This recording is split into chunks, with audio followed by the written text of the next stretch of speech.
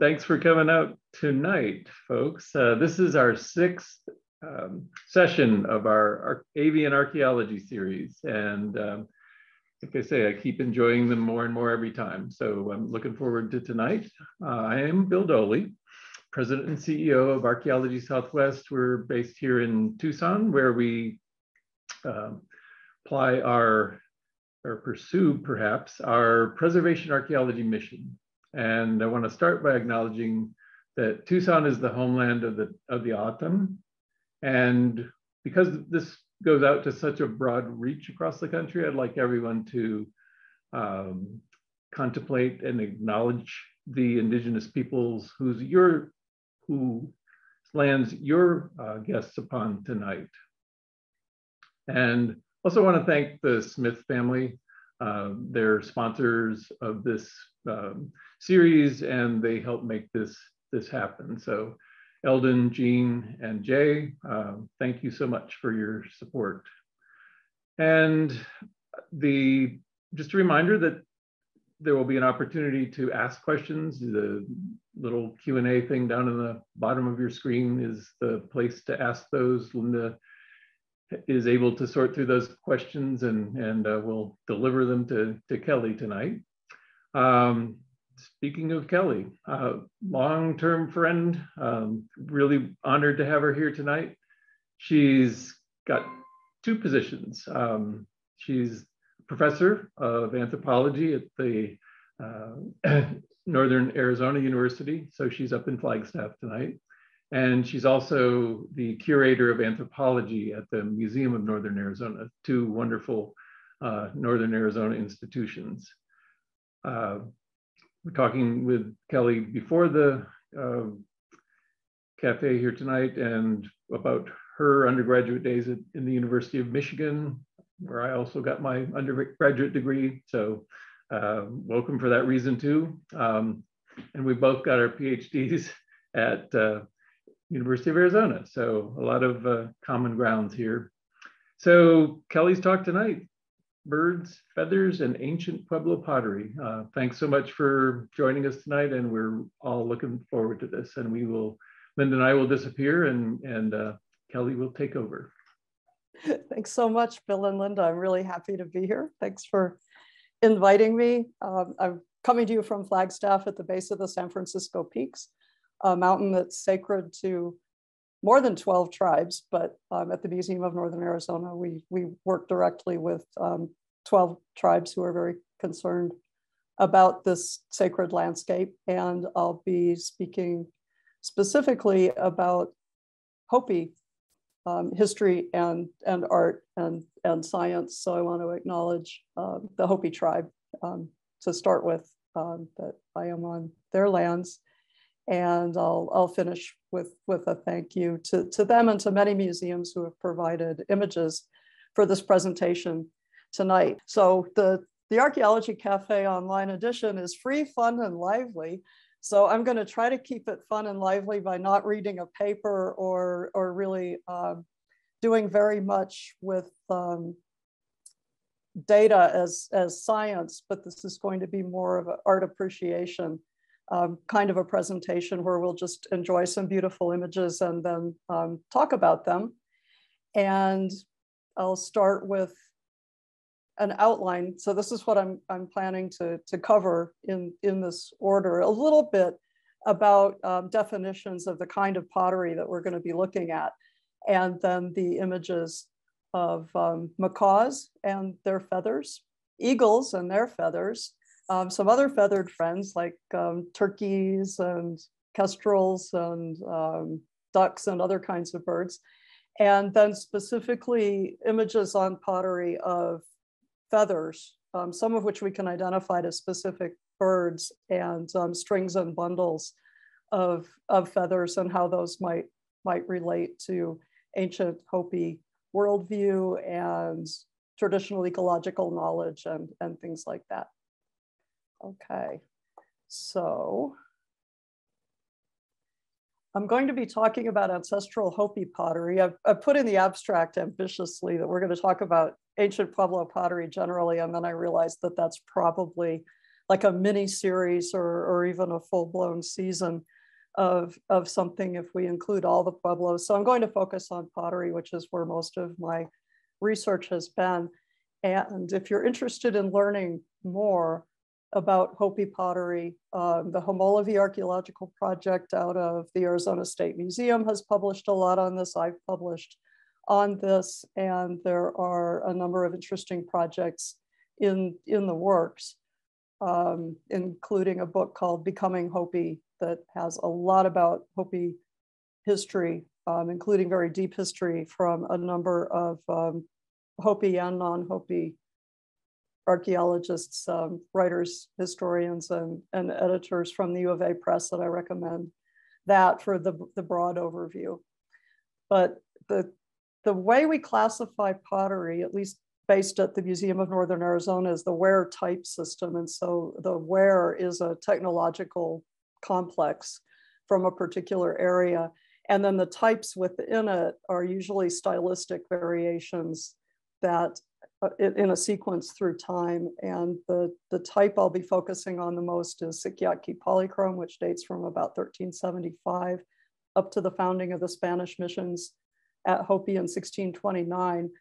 And the ware is Jeddito yellowware, which starts in about 1325 and what, what really makes this distinct is that it's fired with coal.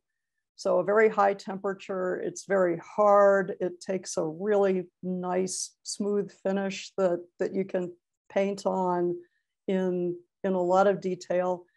And um, it gives you this beautiful yellow color that, that we're gonna be looking at although there's a range from red through orange to, to yellow to almost white. Um, the, the yellow color is very, very striking and very distinctive. Then we have uh, an iron manganese black paint made of local materials and a mineral called goethite that is um, yellow when it comes out of the ground and fires red, a nice red ochre color, and also some white paint and um, and that's what we're going to be looking at almost exclusively. And I'll indicate when we're looking at, at other things. So to start with a little bit of history of scientific research on Hopi yellowware or um, yellowware specifically, we had Jesse Walter Fewkes excavating at a number of sites, including the site of Sikyatki, which is at the base of First Mesa and dates to the, the 1400s, published a couple of books in the, the Bureau of American Ethnology series um, out of the Smithsonian that were very popular and are especially popular now with Hopi potters uh, because there's just drawing after drawing of, um, of beautiful pottery, uh, mainly Sikyatki polychrome from the Hopi Mesas. But um, less known is Walter Hough and, and his little expedition and, and report from 1901 and he illustrates a few birds here. Fewkes in his book also has a section on birds. So I want to acknowledge that, that early rediscovery, um, if you will, of um, this complex of, of bird imagery on Hopi pottery. And then H.P. Mera on the New Mexico side of the Adobe Curtain in 1937 published a little book called The Rainbird, in Pueblo pottery. And he's taking a more, a broader and a more evolutionary approach to the question of bird imagery on ancestral Pueblo pottery. So he, he's positing a, an early to late, I'm not sure if my cursor is showing up, but the top line is early imagery that he interprets as images of birds, specifically macaws or, or parrots, and getting a little more um, explicit but but also very stylized versions. And so we're going to see this sequence in in what I'm about to show you, but it's it's not a rigid uh, temporal evolution really. Um, and then very stylized Sikyatki polychrome styles. And, and Mera also goes into ancestral Zuni and Acoma rainbird imagery and, and other pueblos. So I recommend this, this little book. It's been reprinted by Dover. It's in the public domain. It's pretty easy to find um, used. But before I, I launch into more about macaws, just take, take a look at what some of the distinguishing features are. Here, this very hooked beak and the long tail feathers, but not all of them have long tail feathers. And so I want you to watch for this because that's, that's significant. If the tail feathers have not grown all the way out, they're juveniles. And that is in fact what the faunal record of, um, of macaws in ancestral Puebloan um, faunal assemblages is, is showing us. And you could argue that the, the little three-toed feet are not exactly the way macaws' feet are. And, and we'll notice that as we go along a little bit too. So these aren't naturalistic depictions. These are very stylized. And in some cases, they might represent uh, a lot of birds, like birdness, all birds. So we'll watch for that. So we do know that macaw feathers were used in the past. So this is a piece from Navajo National Monuments, which should be called Kowestima in um, Hopi, which is really a, a Keresan word, and, and that just goes to show. So we have red macaw feathers on uh, a little fiber artifact that this is probably uh, a necklace or a, a little piece of um, adornment for a prayer stick. And then on the right, I'm showing you some contemporary feathers from a, a scarlet macaw that um, Chris Downham, I think, purchased online and did some gorgeous photos of um, with Ryan Belknap and, and Dan Boone here at NAU. And Chris's point was just to show the brilliant colors of these feathers when they would have been used. And then archeologically, they fade a bit over time. And this one um, from Kowestima is unusually well preserved with that, that bright color, but, but feathers are also very vulnerable to insect damage. So we don't get a lot of them in the archeological record. And just as a reminder of, of what the, the feathers would have looked like when they were new. Here's a depiction of macaws from the late 1200s.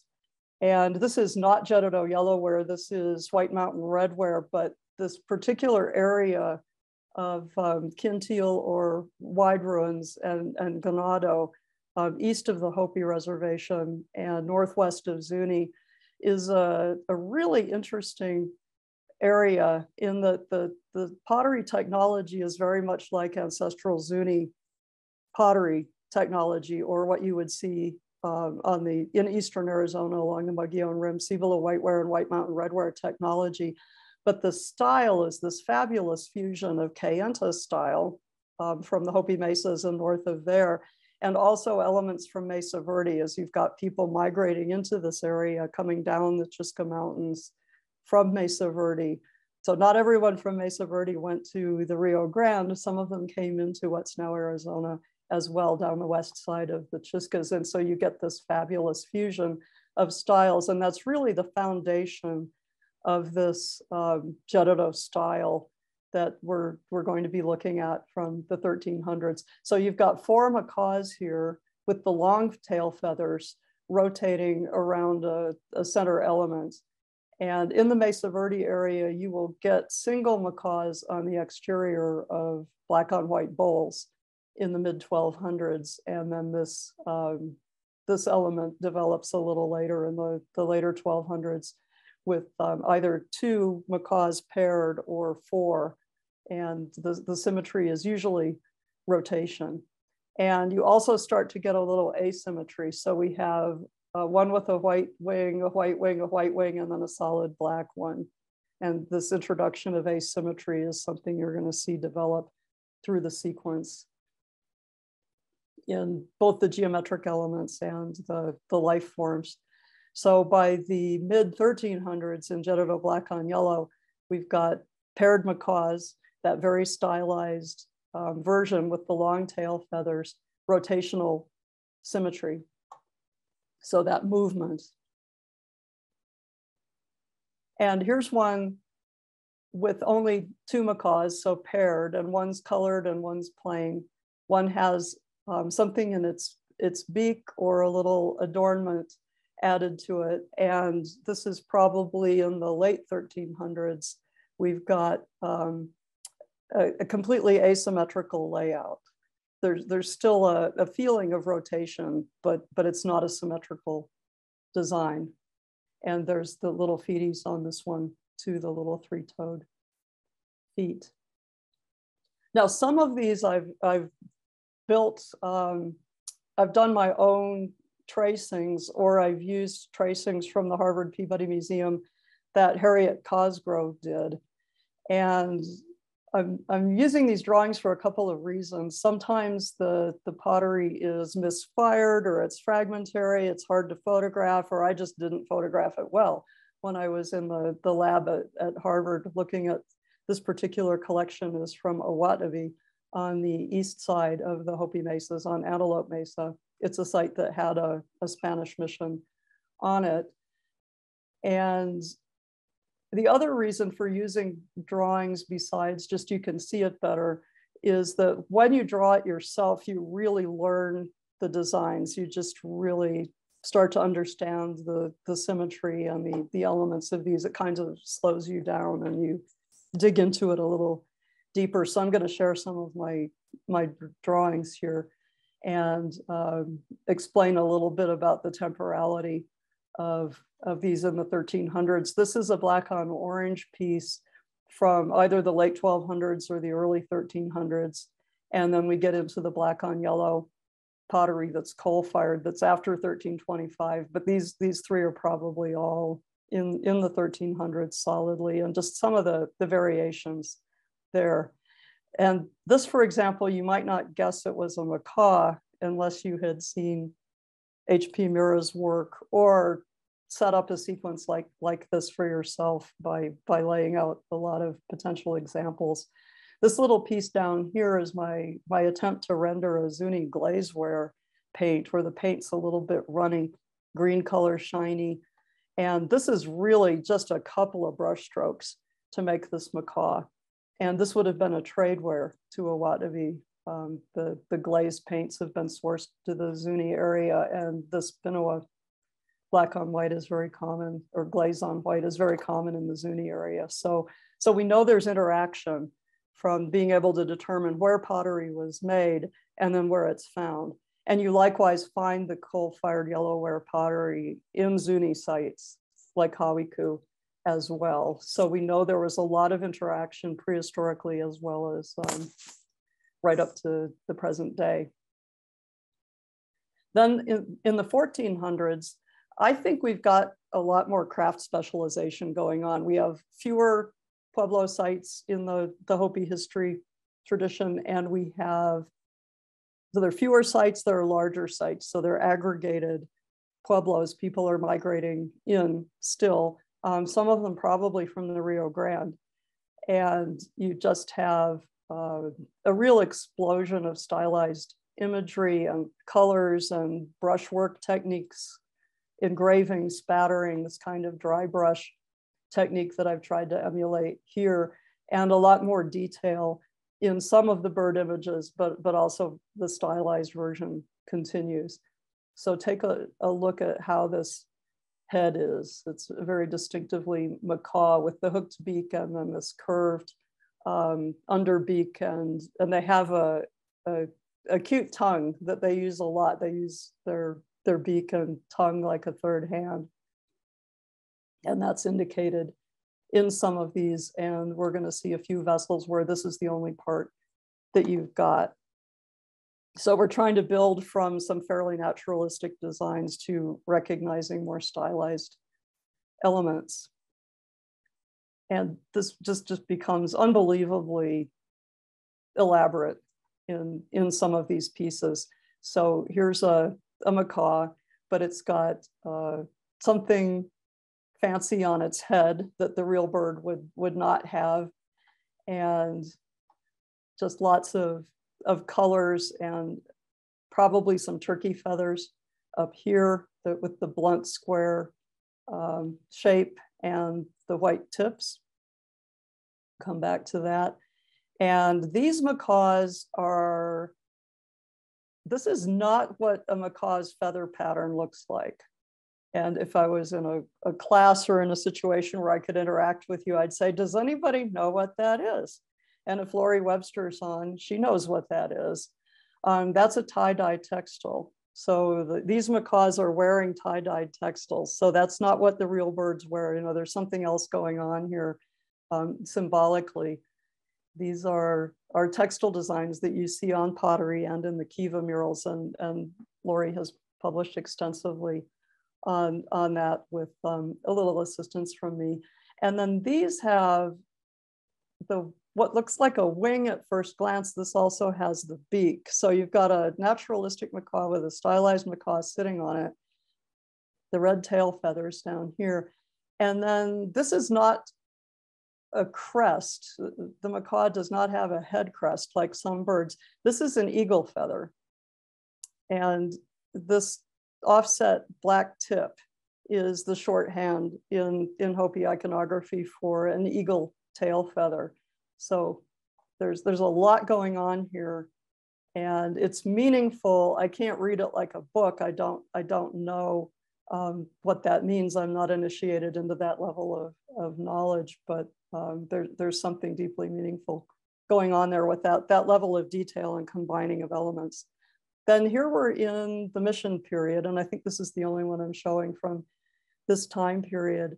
Um, generally, the pottery in the mission period is less complicated. It's um, the clay isn't as well processed. It's not as well painted, but there are examples like like this that that are very well executed and symmetrical, and the that rotational symmetry is is continuing. But we have rotation going two ways here um, clockwise and counterclockwise with the stylized birds. And that's, that's pretty unusual. I don't think I've seen that from the, the pre-mission period. Okay, back, back to the late 1300s. Here's a, I'm gonna show you a couple of macaw effigy vessels and bird effigies go all the way back to the 600s. They're, they're very early vessel form, but they get particularly elaborate in in the Jeddito yellowware. So here's a early Sikyatki polychrome macaw effigy. And there are two of these at the Field Museum from Homolovi and one from Homolovi that's at Brigham Young University. No, it's from Four Mile Ruin. Um, and it's in the Brigham Young collections. And then there's another one in a private collection that, that was documented as having been looted from Homolovi and um, to have four vessels that I swear look like they're made by the same person. The head is so detailed and constructed in the same way is is really very interesting with um, three of them coming from Homolovi and one from from Four Mile near Snowflake Taylor. So all of them are trade wares from off the Hopi Mesas, but but very very detailed macaw vessels. And a contemporary potter, Rachel Namingha Nampeyo, created this one um, after viewing the, the ones in the museum collections. And she's done the, the head shape, but she chose a, a design from a Gila polychrome vessel. And that, that may be referring, I haven't talked to her about this, but that, that may be referring to the clans that came from the South and the macaw being associated with the sun and summer in the South for, for Hopi and being important in, in Hopi clan migrations. So this is more of a Salado um, design than, than the ones that were made on, on Hopi. So this kind of cultural synthesis continues today. And then also Rachel is Hopi Tewa, um, one of the descendants of a community of Tewas that, that came from New Mexico after the Pueblo Revolt. So this kind of movement and, and synthesis is a part of the pottery tradition we're, we're talking about. I, I also went through some of the potsherds um, at the Harvard Peabody when I was there studying this collection. And the, the excavators, Joe Brew and, and his team, and Hattie Cosgrove as the, the ceramic analyst there, um, pulled out interesting potsherds. So the ones with life forms faces and animals and birds on them. So we have a, a pretty good representation of life form imagery on, on pottery from this site, even the fragmentary ones. So this is a katsina, a spirit being ancestor, they bring all good things to Hopi, and we start to see them depicted in the pottery in this area in the 1300s, as well as in petroglyphs and, and a little bit later on Kiva murals. And this one looks a lot like the long hair Katsina that dances today that has a long black beard and long black hair that, that represents the, the summer rain clouds and the rain, the rain that comes down, that streams down from the, the thunderheads in the, the summer. You've got some engraving through the black paint. You've got several shades on the face. And to me, that complex of, of colors suggests that, that this is from the 1400s. And then look what he's got on his head, just these three stripes are almost certainly scarlet macaw tail feathers. And, and that is what the long hair Katsina wears today, wears one coming up from the back of the head. And, and here it's, it's three on, on top of the head, but I think very clearly related and a, a, a case of continuity from the 1400s to the present. Not all Sikyatki polychrome was made by craft specialists, although a lot of it seems to have been formed very well by craft specialists, formed and polished, and then handed off to a beginner to paint. So here's, here's somebody who's not completely competent with painting Sikyatki polychrome yet. They're learning, they're doing a, a better job than I could, but, but not the, the level that we've seen or will see on some of these vessels. You know, we're, we're crowding up against the, the framing line. The brush strokes are short and um, just, just not quite as, as good line control as, as we see in, in a number of vessels that, that make it into art museum catalogs. And then here's, the, here's our little bird friend here with a, the macaw head and the little three-toed feet but a fan-like tail that's much more characteristic of a, an eagle or turkey tail. This is not what a macaw tail looks like. So is this an effort to show a juvenile macaw with short tail feathers, or is this one of these hybrid birds where this just represents all birds? And, and um, somebody who's learning to paint isn't as specific or as naturalistic as a, a master painter might be. Here's one clearly by a, a master painter. And here's that stylized macaw beak with the hook and then the round um, lower beak and some kind of a feather bundle here of red feathers. And then these also look like they could be stylized bird parts or, or macaw parts. And then this little guy over here, again, is painted by somebody who's not that great at painting. And this could be a macaw beak with the, the short under beak and the big upper beak and eyes, and then kind of a red um, crop area. But this, this could also be something else. It's just not very specific and it's fragmentary. We don't have wings or tail or anything to, to help us, but um, we have a couple of depictions of turkey vultures that have a, um, an opening in the beak um, that goes right, like right through the beak um, where the light shows through holes right through, and it could be representing that, that bird. So sometimes it, it's just not specific enough to, to identify the bird to um, the species level.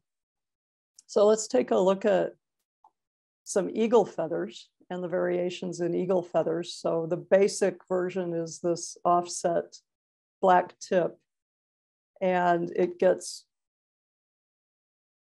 shown on the heads of, of figures like this. Again, this is a tracing of a, a not very well painted um, potsherd, alternating with probably macaw tail feathers, but they, they could also be red tail hawk feathers or some other kind of um, raptor with a, a red tail feather, very often alternating um, in a, a fan-like pattern around a face that um, might represent the sun. Both macaws and eagles are associated with the sun in the ethnography. And then I love this one up here. this, this split feather format is, is something you see to the present day in the Keresan pueblos along the Rio Grande, as well as um, historic Acoma pottery, the, the split feather design. Very, very, very common all over the Pueblo world in the 1700s.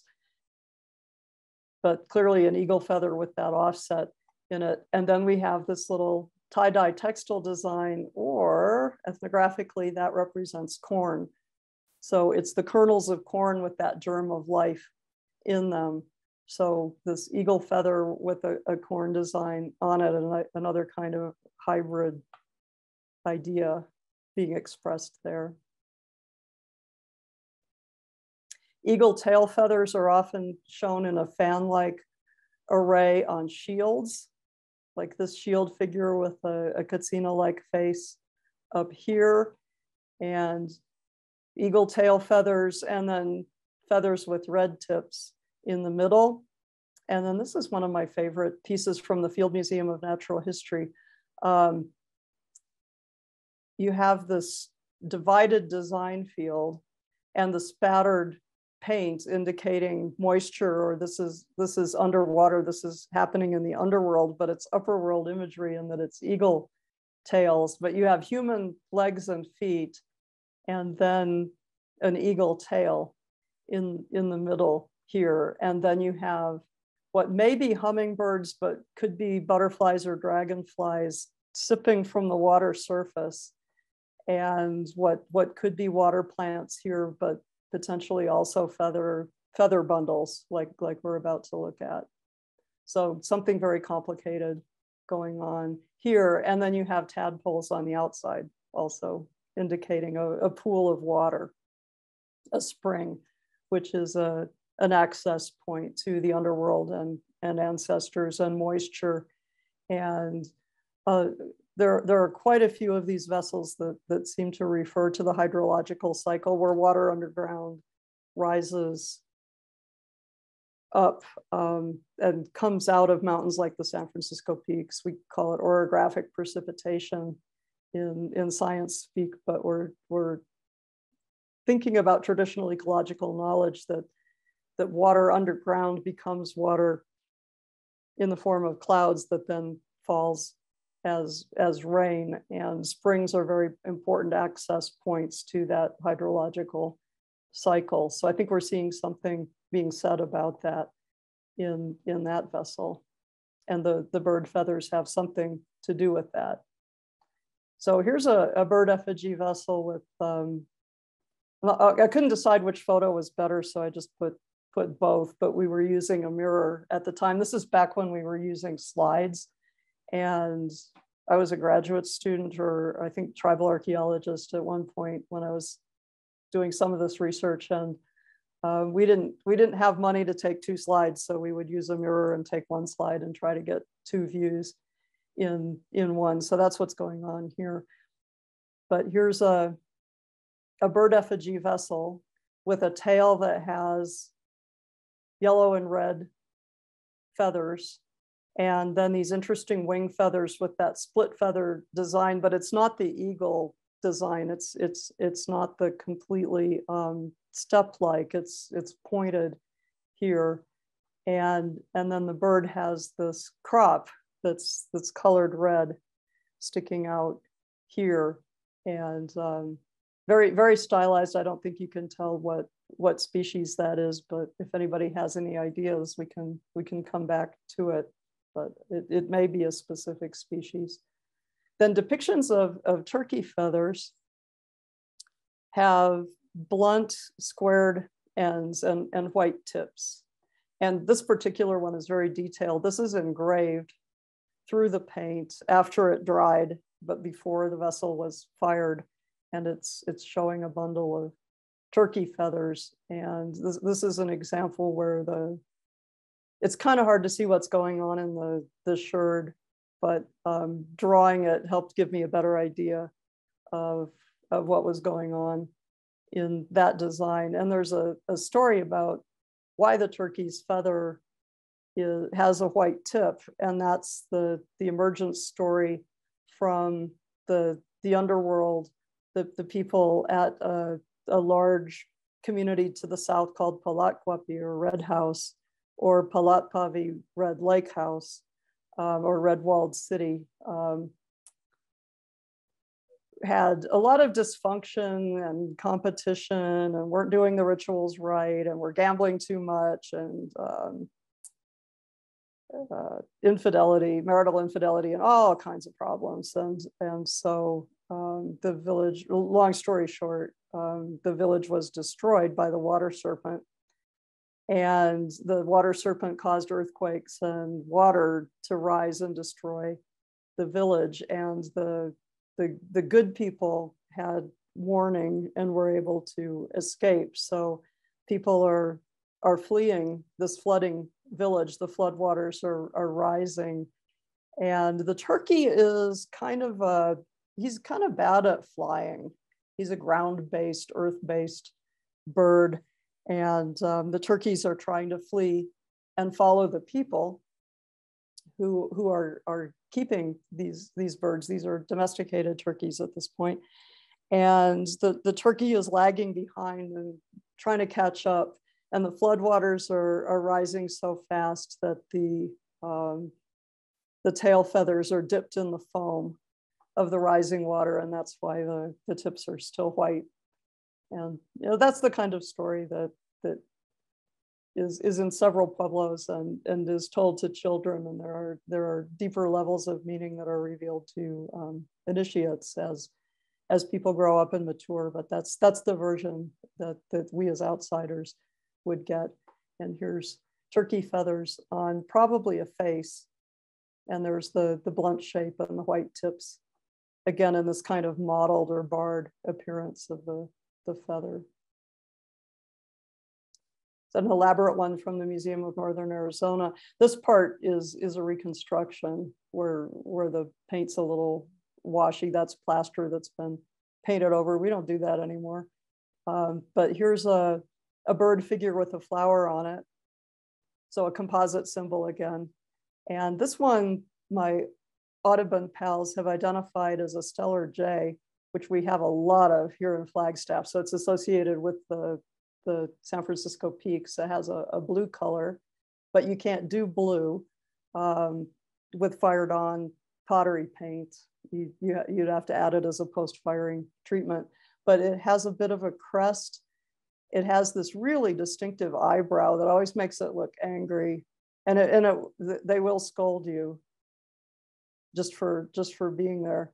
And then this is a detail that you don't really see just by looking at it at your bird feeder, but but obviously Hopi ancestors got up close and personal with these birds. This is some um, oh now I can't remember the scientific term, but um, most insect-eating birds have these these little feathers above the beak and this this version over here is even more stylized. You've just got the crest and the the eyebrow, but but not the little um, supra beak feathers or whatever those are called, and um, very very stylized tail feathers there on those.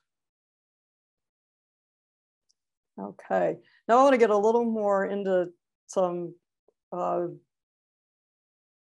pots that look kind of abstract at first glance, but when you when you get into this with a, a biologist like Chuck LaRue, you, you start to realize that these aren't just pretty patterns, these are very specific bird feathers.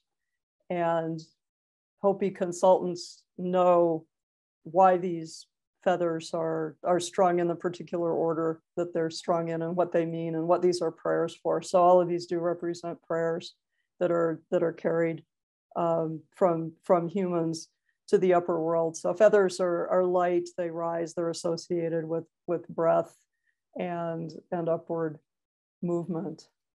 So on, on this one, Chuck and I have um, overlaid Hattie Cosgrove's drawing of this pot and then tried to identify what those feathers are. So you have turkeys and several kinds of kestrel feathers, magpie, roadrunner, eagle, um, which you can recognize by now. And um, the, the black tip is, is not a macaw feather, that's a, a kestrel with the black tip And we're, we're really not seeing the, the parrot set on here. And there's probably something about the seasonality of these particular birds that they may be associated with particular kinds of, of weather, like when the snow comes, or they might be associated with hunting, or there's probably a reason for grouping of, um, of this variety of, of feathers and the inclusion of some and the exclusion of others.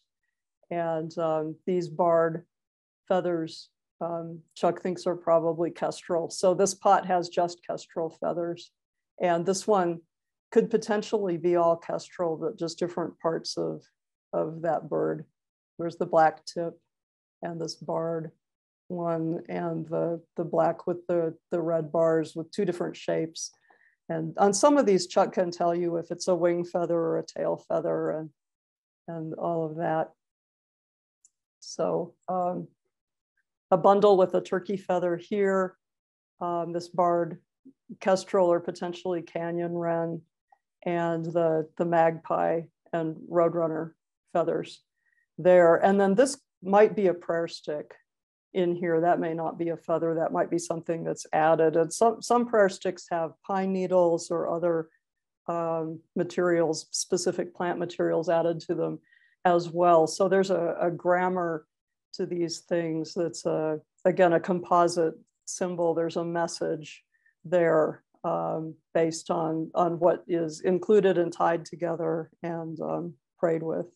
And that's, that's really all that, um, that I can say appropriately about those. Here's another feather bundle with the, the very obvious turkey feather here. And maybe it's being carried in the hand by this Katsina. We don't know, but this is very likely a, a Katsina. And this probably dates to the, maybe even into the 1500s. I, I would give this one 1500s probably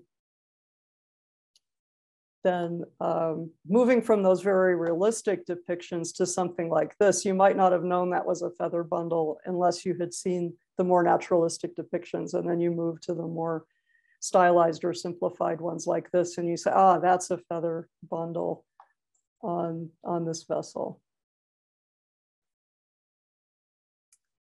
And this is also very, very abstract. Here's another one of those div um, divided design fields where maybe it's the upper world, the underworld, uh, the sky world underwater, maybe it's the spirit world, this world, maybe it's um, some other duality that, that we don't recognize as, as outsiders today.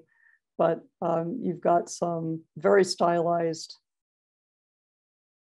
probably wing feathers here, and then this tail fan, but it seems to be potentially made up of, of feathers from a variety of different birds, so potentially more like a, a feather bundle.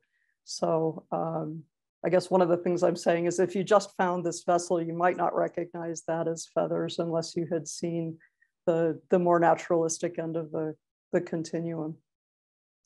And that's all the, the slides I've got. And I wanna thank all kinds of museums and people and I am ready to take some questions. All right, Kelley, thank you very much. That was fascinating. Um, and we um, can come back to pictures if people want oh, to. Yeah. I'll, I'll let them look at my beautiful sweater. they can look at my scarf with the birds on yes, it. Yes, show us the scarf. yeah, I wore my bird scarf just for just for tonight. It's hard for me to show, but no, that's fascinating. So it's such a nice opportunity to see some so many of those images. That's very was very nice. Yeah. So let's see. We have some questions. Let's Good. see. Um, so well, okay. So the pots with the feather bundles. Um, do you know what they might have been used for? What their purpose function might have been? Were they carrying water? Do you know what they're we don't know some of them are perforated which suggested there might be a strap that and this is pre-firing perforations not not drilled in later so they might have been designed to be carried on a, a strap mm-hmm. and um, it's it's possible that they were used in kiva rituals but that's not really um, the kind of information that gets shared with me mm-hmm. Mm-hmm. No, that makes sense. That makes sense. Well, actually, as a follow up on that point, um, someone asks, um, in general, what what do the Hopi think of your work? Do you want to address that a little bit more? Which Hopi? well, yeah, yeah there's yeah. it, de- it depends. Um, I get a lot of accolades and a lot of interaction with potters because they're very interested in having access to what I would call a data set and they would call um, their intellectual property mm-hmm. um, in, a, in a sense being returned. Although Jim Enote um, from Zuni would say, you can call it digital repatriation. It's digital, but it's not repatriation. mm. But until the Hopi tribe gets their own museum, which they're working on, and, and they would very much like to hear from anybody who'd be interested in financially supporting such a such an endeavor. Um, until they get their own museum, um, the, the best that, that I can do from where I sit is, is document and share the, mm-hmm. images, both with the, the tribal government um, and the, the artists themselves, especially potters. And uh, a number of potters use the ancient work as inspiration. Mm-hmm. So, so they are out there on, on the landscape looking at, at the fragments on the ground, but to, to see hundreds or even thousands of whole vessel images um, like, like museums can, can provide to them. So uh, some of this, the, the data that I was showing, or what to me is data, yeah. um, was a, a, set of images that the, the Hopi tribe requested images from uh, museums all over the country who, who then um, scanned some slides or took some photos and, and sent them. And we've tried to put together a database, but the intellectual property issues are pretty difficult mm. to, to just like have an online for the public catalog. And we're getting there with digital humanities projects, but it's it's expensive and it, it has a, a lot of difficulty around um, credit lines and different museums having different protocols but it's all been shared with the tribe. Mm-hmm. And um, at Museum of Northern Arizona, we're kind of one of the informal data repositories for that. So tribal members can request to mm-hmm. have copies of, of these images. Uh, so they wouldn't, they would need permission from the museums to publish them, but to, to just use them for their own purposes, it's, it's perfectly um, free for the asking. Mm-hmm. mm-hmm.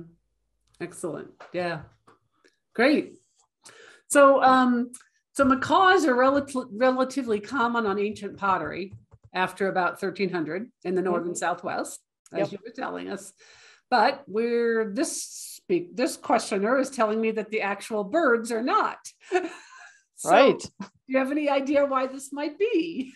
I do, and I hope you'll be hearing. To, you'll you be hearing this to Pat Gilman if you want directly. Exactly. So. so. you'll be hearing more about this from Pat Gilman and Christopher Schwartz. Yeah. Why? Why so on. many macaws but not actual birds? They're really, really important as clan symbols, as symbols of the sun and south. They're important in um, migration stories about cultural identity. And they may have been and talked to Pat and uh, Mark Thompson about, um, especially for Mimbres, whether they were sacrificed at the vernal equinox um, when they were about a year old, just as those the tail feathers are, are growing out. So a lot of them in the, the faunal record are juveniles. And we have them at in Mimbres, at Chaco sites, in um, the Homolovi sites, ancestral Hopi and Zuni sites. And um, so in small numbers in, in quite a few places. Wupatki has the most, um, Chris Schwartz will, will tell you mm, okay. at some point, but these are tropical birds. They were imported to the area and probably did not breed further north than Chihuahua. And that would have been some kind of artificial breeding program at Paquimé. But I better let I better not go any further and let let Pat handle that one. yeah, but yeah, they're they're depicted way more often than they're yeah. actually. Yeah, I have yeah, I've just got a question here asking, do you think this suggests a connection with Paquimé? So we'll say we'll answer yes. that one in and next more next in a couple months yeah. or so. Yeah, yeah. Um, there were just a couple. Oh, okay. So we have a couple questions about yellowware. Okay. okay. You like yellowware I know you do. Everybody loves yellow So, well, so first of all, was was it only the yellowware that's coal fired? And are the Hopi still coal firing? Yes, some of them, some of them are. Um, there was a shift to, to sheep dung um, historically.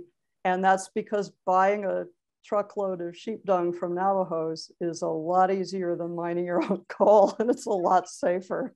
And there's a, so there's a mutually beneficial relationship there and the dung burns really long and is, is a little more forgiving.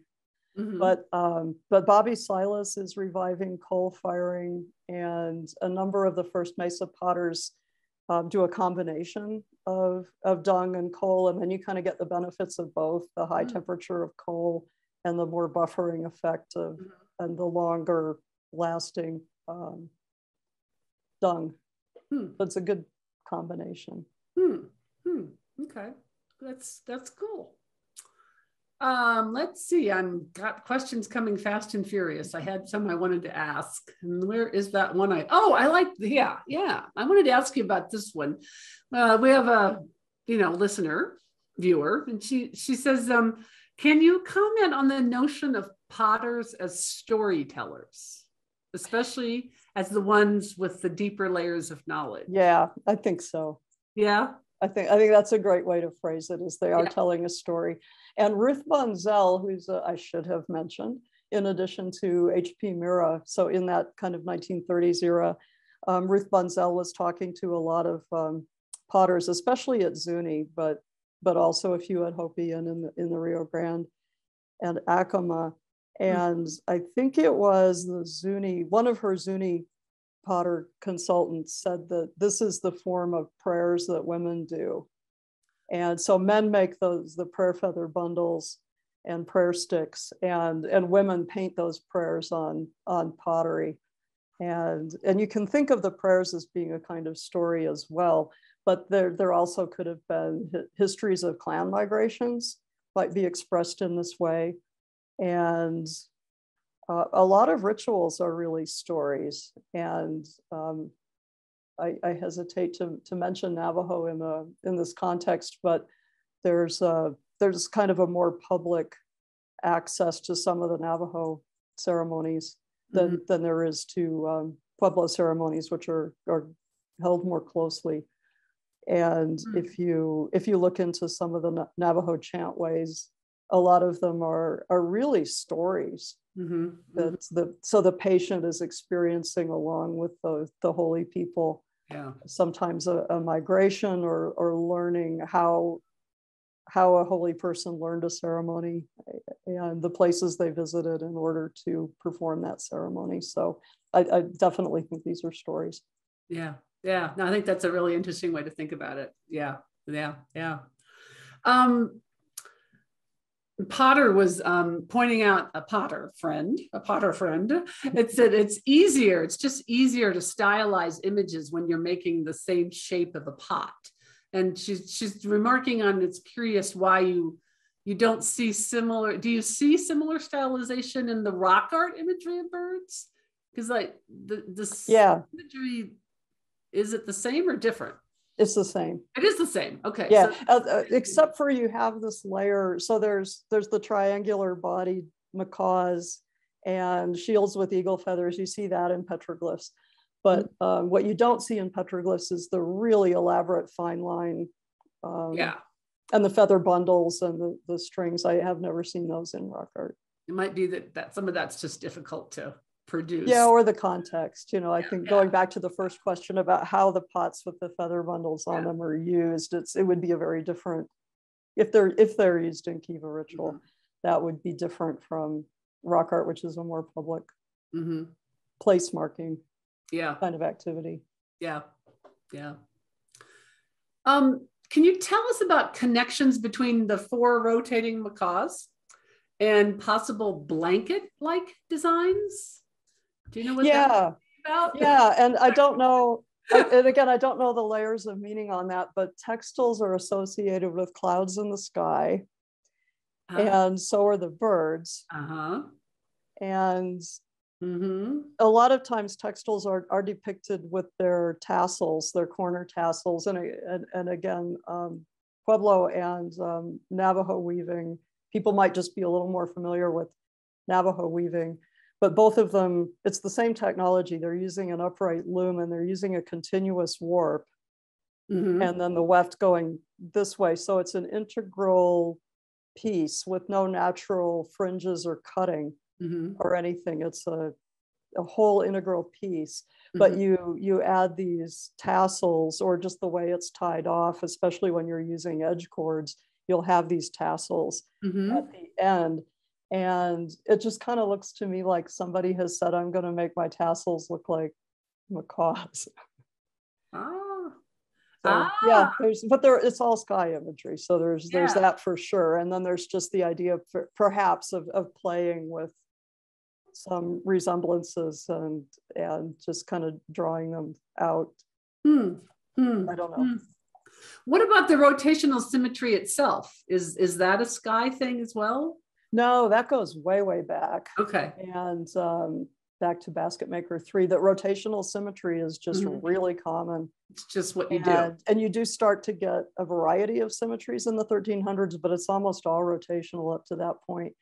And you can read Dorothy Washburn on this for she'll go a little further than I will and what that Mhm. means that it, it has to do with interpenetrating dualities and movement and this this constant um, balance in motion um, that that Pueblo worldview entails. So light light and dark are balanced. Um, the the sun and the moon, the night sky, the day sky, um, potentially the the macaw and the raven in in a couple of stories are are a duality, and but Mhm. the idea that these dualities aren't static, but Hmm. that they're interpenetrating and in motion. So it's more of a yin yang, to use a, an Asian analogy, than than it is a Western fixed category opposition. Yeah. Speaking of ravens, um, have you seen ravens on the pottery? Not that I can identify, No? no. Okay. But it, it may Yeah. just be that there, there's birds that are black, but when when your color palette is pretty much limited to um, black, red, and yellow, Right. and white, you know, that's what you're going to get. So when you got a black and white macaw or, or, or a, a black and red bird with the macaw beak, you can say, okay, that's probably, you know, they're, they're drawing the outlines in black and then they- they might give you a little red infill Mhm. or the um, magpie where they're, they're deliberately doing a black and white on, on yellow. Mhm. Um, but black on just an all black bird. A lot of them are all black, but Yeah. they they have that really hooky beak. Yeah. So that's why I think it's a macaw. And then the the raven does have a, a shorter, broader tail, and I'm not seeing that very often. Hmm. Hmm. Hmm. What about the blue and the blue and the, in the macaws? Because I guess you know because of how the blue is created in feathers, because it's from interference, it's not a pigment so much that. Do we see blue feathers? Have we have we ever seen have you have you seen blue feathers in collections? Do they survive as blue? Do you know? No, you wouldn't on pottery. Yeah, but I Um, mean, like It there were would be a feathers, firing application, but um, actual in the- feathers. No. And in the Kiva murals, we don't have, they could do blue in the Kiva murals and right. they had azurite pigments and you do Right. have blue colors in them, but we don't see them putting blue on the birds. Huh, They're, they're just black and red. the red. So Hmm. again, it's a stylization or a, a selection. There's also different populations of macaws though, and, and um, Kelly Taylor could speak to this, where some of the scarlet macaw populations from different parts of, of Mexico and South America have, have different combinations of feathers in addition to the scarlet. Mhm. There's some are more red than others, some have more, more, more blue and some have green. And I'm not clear on that. Huh. Cool. Cool. Um, let's see. We're coming up on seven o'clock. I'm trying to see if there's any. Here comes the train, y'all. In case you All missed right. the train, it's a tradition of the cafe. Um, That's I'm just right. trying to see if there's any other final questions I wanted to ask, but we are coming up around seven. Um, oh, this was an early on, just to throw out there. You talked about Mera and his book about Rainbird. Why is it? Uh-huh. Why is it called Rainbird? Well, I think he was speculating as much as anything, Okay. uh, because some some Pueblo consultants said that, you know, the bird is about, about rain. Mhm. But, um, you know, realistically, when you, when you talk to more than, more than a few Pueblo people, everything is about rain. And the other things that you need for your crops are warmth and the sun. Mhm. And so that's where the macaw potentially comes in and talk to Pat Gilman about this. But Ah, um, the vernal equinox sacrifices to make sure there's enough warmth to, to germinate and, and right. grow the crops. And some birds are associated with snow because they come when the snow is about to come, like they come ahead of the snow. Right. Like you'll see flickers at your bird feeder right before it snows. Mhm. And and so this is tradi- traditional ecological knowledge where each bird's behavior is related to the weather in some way. And because it's not a linear causality, the bird is bringing the snow. And Mhm. so the bird brings the snow or brings the rain or brings the warmth. So, so I think Mera was just focused Yeah. on, it- it- or his hook, you know, was that, that some of these are associated with moisture. And I didn't even go into water birds, which you will see in rock art too, the long-legged cranes. And there is a crane clown, and there's cranes in the Kiva murals and those are about water. And ducks are of course about water, but I think I only found one duck on, on Hopi Oh, okay. Because yeah, people were wondering about ducks too. Okay, great. Ducks are more important in Zuni than they are in, in Hopi. And it's probably just the local environment and the, where the flyways are and where the, Mhm. the wetlands are. Yeah. Well, there was there was there's been a couple questions. We'll ask this, then we'll have to wrap it up. But um, you showed us a bunch of um, the effigy, the effigy vessels and stuff, and we were just wondering about how those are are made. Are those are those parrot beaks actually um, spouts and stuff? Or are they just are they just a handle or how are those? Yeah, well, both, some of both, both, but those were actually the, the set of four and I only showed one of them. Mhm. Um, th- those are spouts. Okay, cool. Okay. Interesting, interesting stuff. Now, this is fascinating. Gosh, can tell you've spent many, many years and hours thinking about what this all looks like and what it all is, what's going on. The, the, So, the Hopi tribe gathered this, um, this set of images uh, initially um, 20 years ago. So we've had a long time to, to look at it and potters have had a long time to, to try out replicas and, and play with this imagery. Yeah. Yeah, well, thank you. We've had a great time. Lots of people here. I'll ask Bill to come on back, but thank you so much, Kelley. It's been a Thanks for having me. Many, many people are sending their thank yous on the Q and A Oh. Well. So I'll have to open that up and take a look. yeah, yeah, and yeah, yeah. So Oh, I'm sure some of these you'll get to later, I hope. yeah. All right. Bill, There's Well, Jay wrap us up here. I'll definitely express my thanks, Kelley. Very, very um, helpful to s- uh, get insights into how to look at these um, images and, and so on. So um, just real quick, um, we're wrapping up our, um, we're in the final stretch of our uh, avian archaeology series. And we're actually moving back to a focus on turkeys next time. But we started with three in a row on turkeys. And actually, I was counting, and Kelley did keep the mention of turkeys alive tonight 12 mentions of turkeys as in her talk. The quantitative data comes back. Um, so thanks, Kelley, for, for that. And next uh, month on April 5th, so the first Tuesday in April, Rachel Berger is going to uh, come um, to our living rooms and uh, talk to us about a rafter of burials, Sapawenge turkey interments. So um, put that on your calendar and uh, it's our penultimate um, session in our avian archaeology series. Th thank you, Kelley, for making this one such a wonderful presentation. And Yep. thank you all folks for, for joining us tonight. Yep. Thank you all. Have a good evening, everybody. Good night.